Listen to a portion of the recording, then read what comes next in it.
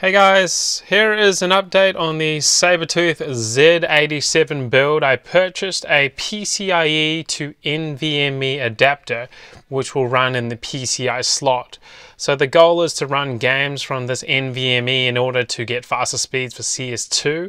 I actually found out that you can't actually install Windows directly onto the NVMe adapter drive. So I also purchased a 128 gigabyte SSD just to run Windows.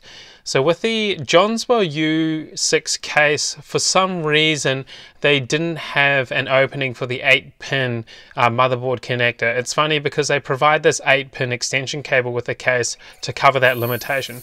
So I brought out my trusty Dremel and cut out an opening for the 8-pin and it was problem solved.